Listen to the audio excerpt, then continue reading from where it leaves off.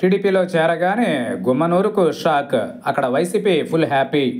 గుమ్మనూరు జయరాం మాజీ మంత్రి వైసీపీ టికెట్పై కర్నూలు జిల్లా ఆలూరు నియోజకవర్గం నుంచి ఎమ్మెల్యేగా గెలిచిన నాయకుడు.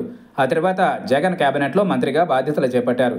ఇక రెండు వేల ఇరవై నాలుగు ఎన్నికలకు వైసీపీ ఆయా నియోజకవర్గాల వారీగా మార్పులు చేర్పులు చేపడుతోంది. ఇందులో భాగంగా గుమ్మనూరు జయరాంను ఎంపీగా పోటీ చేయాల్సిందిగా ఆదేశించడంతో జయరాం ఆ ఆఫర్ను తిరస్కరించారు.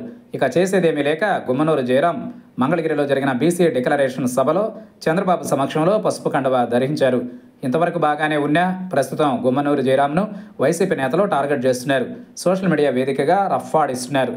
గుమ్మనూరు జయరాం అవినీతిపరుడంటూ బెంజ్ మంత్రి అని తన అరాచకాలను రెడ్ బుక్లో రాసుకున్నానని అధికారంలోకి వస్తే గుమ్మనూరు భరతం పడతామని ఇటు లోకేష్ అటు చంద్రబాబు ఇద్దరు వార్నింగ్లు ఇచ్చారు.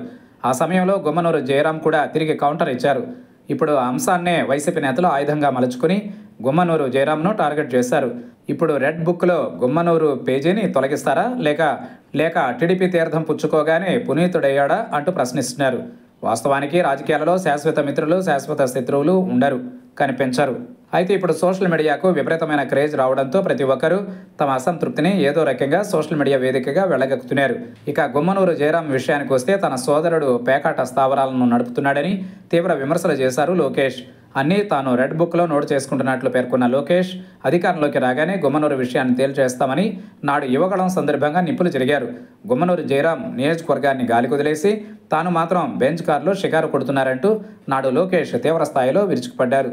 కట్ చేస్తే గుమ్మనూరు జయరాంకు వైసీపీలో టికెట్ దక్కలేదు. ఇక టీడీపీతో టచ్లోకి వచ్చి గుంతకల్లు నియోజకవర్గం నుంచి సీటు హామీని పొందారు. వాస్తవానికి గుంతకల్లు నియోజకవర్గం నుంచి జితేందర్ గౌడ్ కొన్నేళ్ళుగా టీడీపీకి సేవలు అందిస్తున్నారు. ఇప్పుడు గుమ్మనూరు ఎంట్రీతో జితేందర్ గౌడ్ పొలిటికల్ ఫ్యూచర్ ప్రశ్నార్థకంగా మారింది. ఇప్పటికే అక్కడ టీడీపీలో వర్గపోరు ప్రారంభమైంది.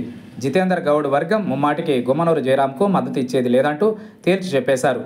అంతేకాదు పట్టణంలో జితేంద్ర గౌడ్కే టికెట్ కేటాయించాలని నినదించారు.